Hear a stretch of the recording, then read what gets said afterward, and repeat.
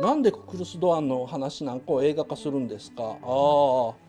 れあの来週やります。ちょっとククルス・ドアンが今回映画化されるんですよ。ククルス・ドアンの島って。これ何かというと昔の「機動戦士ガンダム」のテレビシリーズの中でちょっと真ん中辺に入ってる話なんですよ。で1話完結の話が3本入ってそのうちの1本でまあガンダムファンというか一般にはですねあんまりあの意味のない回とかですねダメな回みたいに言われてるんですけども僕はねククルス・ドアンっていうのはすごい重要な回だと思ってるんで今回映画化する理由はそうじゃないと思うんですけども自分なりのククルス・ドアンに決着をつける話っていうのをしたいんで、まあ、それ来週話します。今回もともと話そうとしてたのが前回の予告で言った通り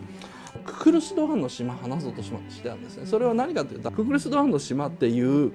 機動戦士ガンダムの、まあ、テレビ版の長い長いエピソードの中にちょっと箸休め的な解釈にされてるのがあるんですよ。ククルス・ドアンっていうですねジオンから逃げた兵隊が、えー、ザクっていうですねモビルスーツですねロボットと一緒に逃げてで戦争孤児の子供たちと一緒になんかこう人知れず島で暮らしてると。でもそういう島もですねだんだんだんだんジオンのですねもしくは連邦の偵察機がですね飛んできてまあもうすぐ見つかってもしょうがないという状況にあるでそんな中ですね主人公のアムロはですね救助信号みたいなものを、まあ、あの発見してでそれで行ってみた。コアファイターで行ってみた。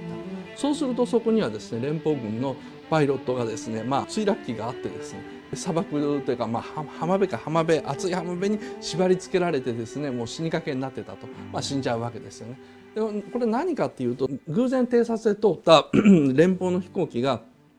ククルス・ドアンのザクによって撃ち落とされて縛り付けられてるわけですね。その意味ではククルス・ドアンっていうのは戦争孤児を守ってるんだけどもやってることは結構極悪人というかですね。まあそんなに正義の人と言えるわけではないんですよ。そこにですねアムロが偶然来てですね。でその後そのジオンに結局脱走兵としてのククルス・ドアンが見つかって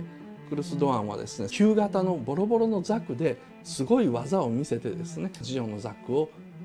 やっつけるというかですね排除するわけですよ。このアニメのですね最大のクライマックスっていうのはもうガンダムゼミの方でも語ったんですけどもじゃあ最後どうするのかとドアンはこの島も見つかってしまった俺たちはどうすればいいのかに対してですねこのアムロがですねガンダムですねそのザクを抱えて海の方へポーイって捨てちゃうわけです。ククルスドアンがとというか、まあ、子供たちが何をするんだって言うとクリストンはいやあれでいいんだっていうふうに言うと。でアムロはあなたが持っている戦いの匂いが彼らを引き寄せたんですとだからこれでもう彼らは来ないでしょうみたいなことを言って終わりになるんですね。これあの今の僕らが見ても何のことかよく分かんないんですね。これはもう何かっていうともともとはそのフェミングウェイの武器をさらばあたりからなんでしょうね。戦争に行った人間が持っている戦争の匂いが本来戦争が嫌いでやっと国に帰ってこれた。でも彼が持ってる戦争の匂いが辺りに災いを起こしてしまうっていうのはそれはもう「ランボー」の第一作もそうですしかなりこう普遍的にあるテーマなんです。映画界でも小説界でも普遍的にあるテーマなんですよね。で当時の日本でもですねベトナム戦争脱走兵ものっていうのがですねよくあったわけですね。ベトナム戦争でですね中継基地にされた日本が当時アメリカのですね若者の兵兵隊たちですね。で彼らはですね良心的なあの兵役拒否というのをやりたかったんだけどもところがふるさとではですね英雄として送り出されるからなんか戦いとかしたくないな。ベトナムにで米作ってる農民たちと戦ってどうするんだ。世界最強の軍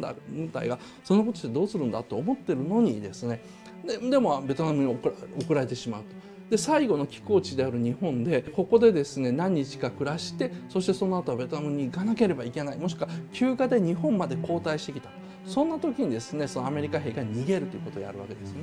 それに対してですね、えベヘーレンというですねベトナム平和連合だったかな？なんかそういうあの日本でも社会団体があったんですけどそこの主な活動がベトナム戦争が嫌で逃げてきた兵隊たちをかくまうアメリカ兵をかくまうというのを社会運動をやってたんですけどもですねそういう社会情勢の中青春時代を過ごした富野監督のですね多分ね和数調整だったか分かんないですけどもそんなにその考えて作った話じゃないんですよ。クルス・ドアンの島っていうのは。さっきも話したように若い頃にあのベトナム戦争の脱走兵ものがあったようなじゃあガンダムでもいろんな方向からこの戦争を照らしたい見せたいから入れたというワンエピソードに過ぎなかったと僕は思うんですけども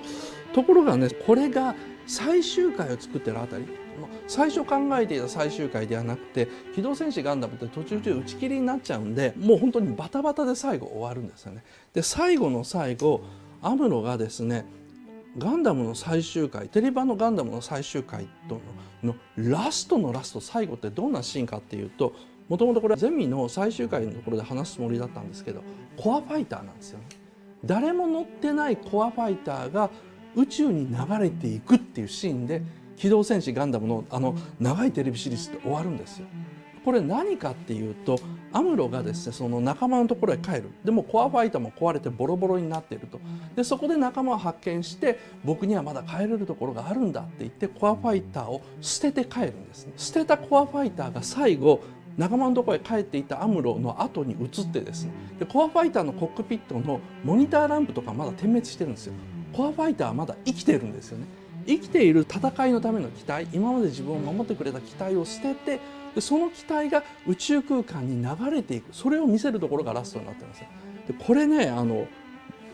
多分最終回を作ってるあたりで富野さんがですねあって分かったわけですね。なんで俺はククルス・ドアンの島を作ったのか作り手によくある話なんですけども発見するわけですね。なんであれがいると思ったんだろうと。だって「時間よ止まれ」は名作と言われてるわけですね「再会母よ」っていうのも名作と言われてる。3回どこに入ってもいい話数みたいなやつは名作と言われてるの2つあってククルス・ドアンの島だけ分かんなかったんですけどもそこで富野監督はあって思ったんですね。つまりそのアムロはククルス・ドアンに武器を捨てさせたわけですね。だからククルス・ドアンは日常に帰れる。じゃあアムロは自分で武器を捨てなきゃいけないと。自分の体に染みついた戦いの匂いというのを捨てなきゃいけないと思ったんですね。だからコアファイターを捨てて仲間のところへ帰ると。しかしガンダムを作っている富野さんやアニメのスタッフたちはこれからももうすぐ始まるです。次のテレビシリーズ次のテレビシリーズっていう戦場の中にいるわけですね。だからアムロっていう自分がずっと生み出してきたキャラクターは平和な世界に返してあげると。それは後のゼータガンダムとかで全部ひっくり返っちゃうんですけど少なくともその時のドミノさんの心ではアムロは日常の世界返してあげる。戦いという修羅の世界から返してあげる。でも俺たちはまだまだ戦いの世界の中にいるんだっていうですね。その切ない思いがいわゆるそのコックピットの中のランプのついているコアファイター捨てられたコアファイターがずっと宇宙空間に消えていってでナレーターが地球連邦とジオン共和国の間に停戦協定ができたっていう話がこうナレーションとして流れるなんかねすごいねうまくできた最終回だと思うしあの最終回があるからこそ遡ってもうだいぶ前に作ったはずのククルス・ドアンの島っていうのが伏線として生きてるという構造になってるわけですね。でこの構造って当時はその富野さんも作りながらああって多分思ったんだと思うんですね。でも安彦さんは全然分からなかったまままでですね。おそらく、まあ、あのテレビの最終回の辺は参加できなかったですからね。ろくに参加できなかったんですけど。改めてさて自分の作品として次は安彦さんが「ガンダム・ジ・オリジン」を書いた後でですね。えーまあ、アニメーションも作り総監督もしてですねで「機動戦士ガンダム」というのを振り返った時にあククルス・ドアンの島ってこういう理由があったんだっていうのをやっぱ再発見したんじゃないのかなというふうに僕は思ってるんですよ。だからククルス・ドアンの島っていうのを作るというのは僕はそういう意味があると思ってるんですね別にあのサブエピソードでなんかこう当時の作画があんまよくよくなかったからもう一回やってみようということではなくて実はあれってすごく大事であってそれは逆に言えばゼータガンダム以降のガンダムを否定して「機動戦士ガンダム」のテレビシリーズというかあの作品世界というのはもうこれ一つの世界であってこういう構造でできてるんだっていうのを割とね言うためにも作る作るのではないかなというふうにちょっと僕は考えています。まああのクルスワンについてちょっと話したかったことはそんなもんですね。最後まで見てくれてありがとうございます。チャンネル登録もよろしくね。